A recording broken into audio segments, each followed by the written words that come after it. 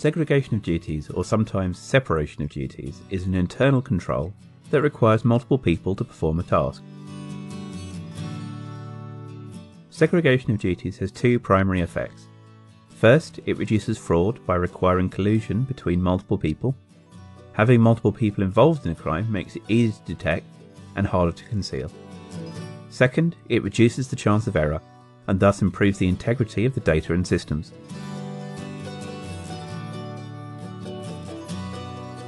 You can think of segregation of duties using the nuclear missile analogy. In this example, the system issues two different people with different launch keys. The first arms the warhead, the second launches the missile. This codependency between the two keys means Commander Alice and Commander Bob must both enter the launch keys at the same time to arm and launch the nation's nuclear arsenal. Typically, in the world of business and technology, segregation of duties isn't quite as life threatening as launching a nuclear missile. However, it is no less critical, given the threat of identity theft and fraud.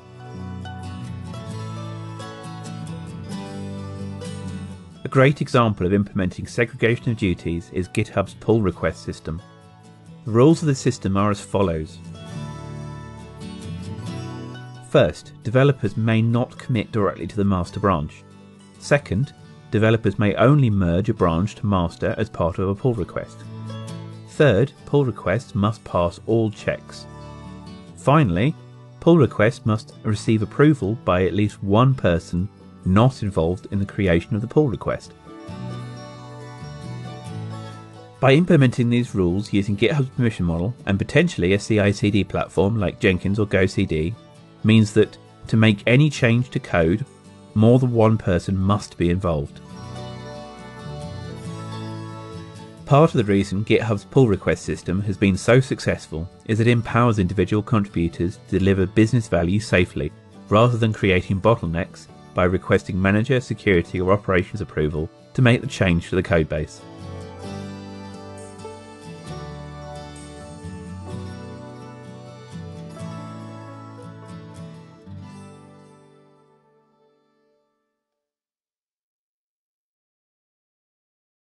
Thank you for watching this video. Do you like it?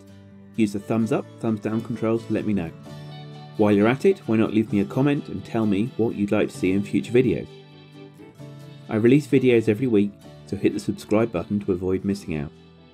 Do you know somebody who would like this video? Go ahead and share it on your favourite social network. Make sure you tag me so I can follow the conversation.